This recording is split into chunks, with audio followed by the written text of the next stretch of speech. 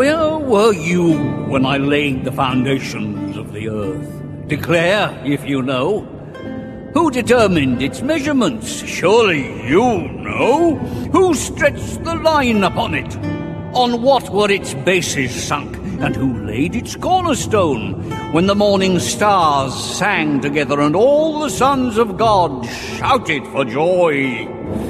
Who shut in the sea with doors when it burst forth from the womb? When I made clouds its garment and thick darkness its swaddling band, and prescribed bounds for it, and set bars and doors, and said, Thus far shall you come, and no further, and here shall your proud waves be stayed. Have you commanded the morning since your days began, and caused the dawn to know its place? Have you entered into the springs of the sea, or walked in the recesses of the deep? Have the gates of death been opened unto you? And have you seen the doors of the shadow of death? Deck yourself with majesty and dignity, clothe yourself with glory and splendor, pour forth the overflowing of your anger. Look upon every one that is proud and abase him, and tread down the wicked where they stand. Hide them all in the dust together, bind their faces in the world below. Then will I acknowledge to you that your own hand can save you.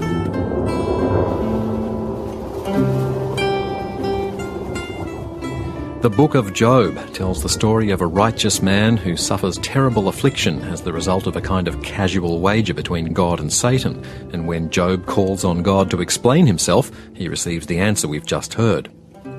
Taken at face value, it's not a particularly helpful response to someone who's trying to understand the age old theological conundrum of why God allows bad things to happen to good people. But Jewish rabbinic interpretation has never been about taking texts at face value.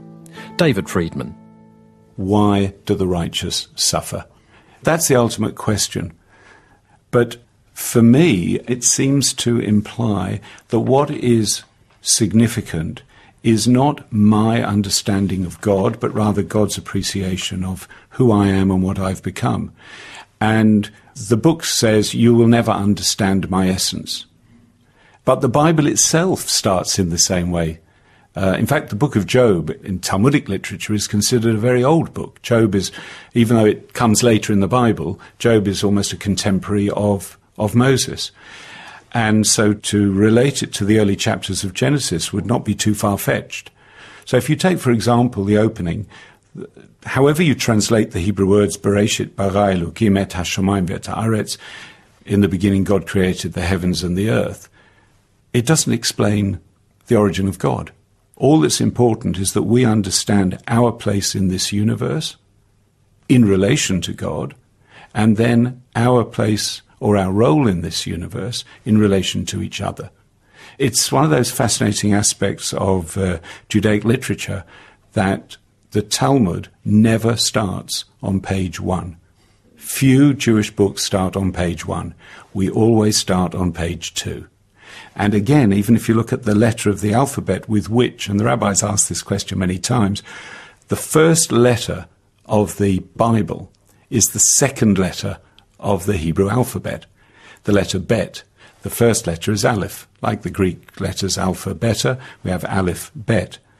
So they say, why is the second letter chosen? Why wouldn't we start with the first letter of the alphabet? And the rabbis explain that the very shape of the letter, which is almost like three sides of a square, that you can go only one way out.